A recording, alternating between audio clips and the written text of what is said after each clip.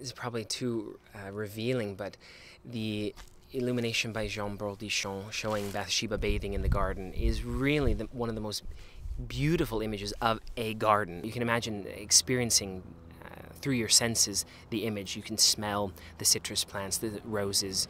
You can almost reach out to touch the stone of the marble fountain. You're seeing the great wonders and the beauty of the garden in addition to the beautiful sensual female form.